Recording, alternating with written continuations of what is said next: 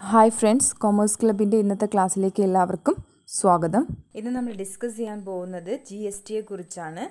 G S ടിയെ കുറിച്ചുള്ള മുൻപ് ഒരു ക്ലാസ് അപ്ലോഡ് ചെയ്തിരുന്നു. അതിൽ ജി എസ് ടിയെ കുറിച്ചുള്ള എക്സ്പ്ലനേഷൻസ് പറഞ്ഞിട്ടില്ല. ജസ്റ്റ് വായിച്ചു പോയതാണ്. അപ്പോൾ ഈ ക്ലാസ്സിൽ അതിനുള്ള എക്സ്പ്ലനേഷൻസ് ആണ് പറയുന്നത്. G S T goods and service tax ഇന്ത്യയിൽ പാസ്സായിട്ടുള്ളത് twenty ninth March two thousand സെവന്റീനിലാണ് act came into effect means നിയമം പ്രാബല്യത്തിൽ വന്നത് first July two thousand seventeen മുതലാണ്.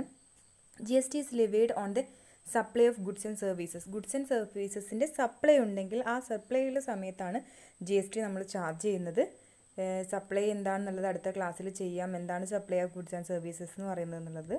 Next G S T is a comprehensive multi stage destination based tax that is levied on every value addition G S T എന്ന് പറയുന്നത് multi stage ഒരുപാട് സ്റ്റേജുകളിലായിട്ടാണ് എന്ത് ഒരു പ്രൊഡക്റ്റിന്റെ മുകളിൽ തന്നെ ജി എസ് ടി ചാർജ് ചെയ്യുന്നത്.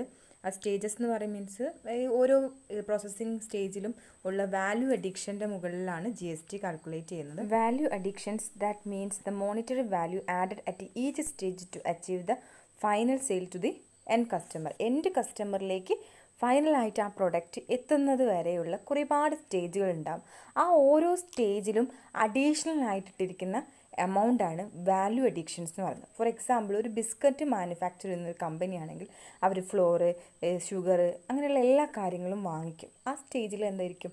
ഈ വാങ്ങിക്കുന്ന അതിന്റെ എമൗണ്ട് ആ ടൈമിൽ ജി എസ് ടി ചാർജ് ചെയ്യും.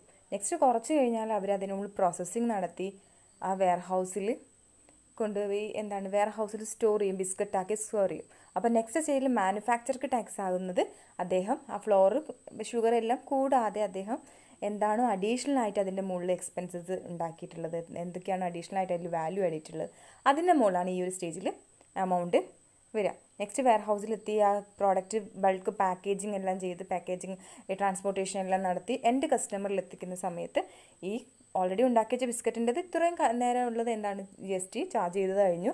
ഇനി നെക്സ്റ്റ് അതിന്റെ മുകളിലേക്കുള്ള എക്സ്പെൻസുകളെയാണ് അടുത്ത സ്റ്റേജിൽ ചാർജ് ചെയ്യുന്നത്. വാല്യൂ അഡിക്ഷൻ എന്താണെന്ന് പറഞ്ഞത് മനസ്സിലായെന്ന് വിചാരിക്കുന്നു.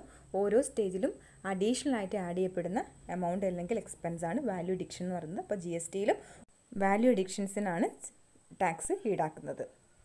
In the early indirect tax regime, there were many in taxes a taxes levied by both central and state ഈ ജി എസ് ടി വരുന്നതിന് മുമ്പ് സ്റ്റേറ്റ് ഗവൺമെന്റും അതുപോലെ തന്നെ സെൻട്രൽ ഗവൺമെന്റും ഒരുപാട് തരത്തിലുള്ള ടാക്സുകൾ ചാർജ് ആക്കിയിട്ടുണ്ടായിരുന്നു.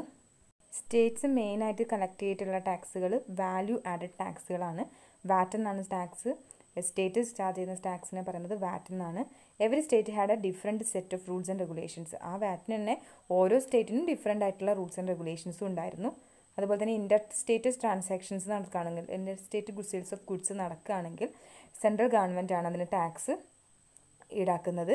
സി എസ് ടി അവർ ഈടാക്കിയെന്ന ടാക്സിനെ പറയുന്നത് സി എസ് ടി അല്ലെങ്കിൽ സെൻട്രൽ സ്റ്റേറ്റ് ടാക്സ് എന്നാണ്. ആപ്ലിക്കബിൾ എന്താണ്? മീൻസ് ഒരു സ്റ്റേറ്റ് വേറൊരു സ്റ്റേറ്റിൽ നിന്ന് പ്രോഡക്ട്സ് വാങ്ങിക്കുന്നു. അല്ലെങ്കിൽ അവർ തമ്മിൽ രണ്ട് സ്റ്റേറ്റുകൾ തമ്മിൽ ട്രാൻസാക്ഷൻ നടക്കുകയാണെങ്കിൽ അത്ര ട്രാൻസാക്ഷൻസ് ആണ് ഇന്റർ സ്റ്റേറ്റ് ട്രാൻസാക്ഷൻസ് എന്ന് പറയുന്നത്. അല്ലെങ്കിൽ inter state sales of goods and services എന്ന് പറയുന്നത്. നെക്സ്റ്റ് ജി എസ് ടി വരുന്നതിന് മുമ്പ് നമുക്ക് ജി എസ് ടി റെജീമിന് മുമ്പായിട്ട് നമുക്ക് ഒരുപാട് ടൈപ്പ് ടാക്സുകൾ ഉണ്ടായിരുന്നു.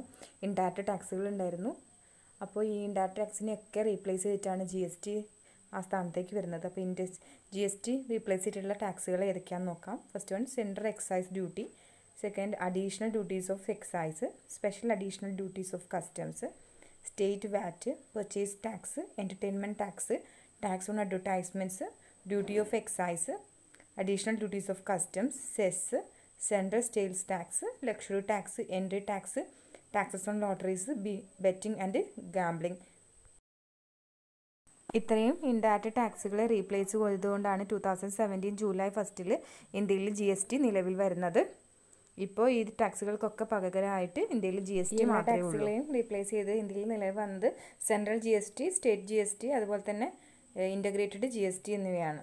ഇൻഡസ്ട്രിറ്റ് ഗുഡ്സ് ആൻഡ് സർവീസസിന്റെ പർച്ചേസിൽ കുറച്ച് കൺസെഷൻ റേറ്റിൽ ടു പെർസെന്റേജ് ടാക്സാണ് ജി എസ് ടി ചാർജ് ചെയ്യുന്നെങ്കിൽ പോലും സി ഫോം എന്നൊരു ഫോമുണ്ട് ആ ഫോമിൽ നമുക്ക് കൂടുതലായിട്ടും കുറേ ഐറ്റംസ് ജി എസ് ടിന്ന് എക്സ്ക്ലൂഡ് ചെയ്തിട്ടുണ്ട്. ആ എക്സ്ക്ലൂഡ് ചെയ്ത ഐറ്റംസാണ് ഈ സി ഫോമിലുള്ളത് അതിൽ വരുന്നത് petroleum crude motor spirit means നമ്മളെ petrol next aviation turbine fuel high speed diesel natural gas alcoholic liquor for human consumption ഇവയൊന്നും ജി എസ് ടിയുടെ പരിധിയിൽ വരുന്നതല്ല. ഇതെല്ലാം സി ഫോമിൽ ജി എസ് ടിയിൽ നിന്ന് എക്സ്ക്ലൂഡ് ചെയ്തിട്ടുള്ള ഐറ്റംസാണ് ഇന്ത്യയിൽ ജി എസ് ടി ആയിട്ട് ബന്ധപ്പെട്ട എല്ലാ കാര്യങ്ങളും കീ ഡെസിഷൻസും ultimate അതോറിറ്റിയാണ് G S T council G S T council govern ചെയ്യുന്നത് article two seventy nine one പ്രകാരമാണ് G S T council will be a joint form for the central and state സ്റ്റേറ്റിനും സെൻട്രലിനും ഉള്ള ഒരു ജോയിന്റ് ആയിട്ടുള്ള ഒരു ഫോമാണ് ഫോറമാണ് G S T എന്ന് പറയുന്നത്.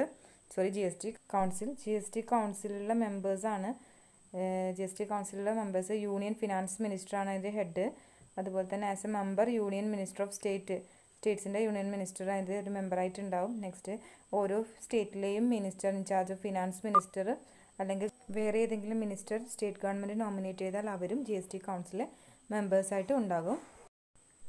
Article two seventy nine A subsection four specify 279A the 4 will make recommendation to the union and the states on the important issues related to the G S T G GST. GST related ആയിട്ടുള്ള important ഇഷ്യൂസിന്റെ recommendations കൊടുക്കുന്നത് G S T കൗൺസിലാണ് ഈ recommendations യൂണിയനും അതുപോലെ തന്നെ സ്റ്റേറ്റ്സിനും ഒരുപോലെ article two seventy nine A subsection four പ്രകാരം ജി എസ് ടി കൗൺസിൽ നൽകുന്നുണ്ട്.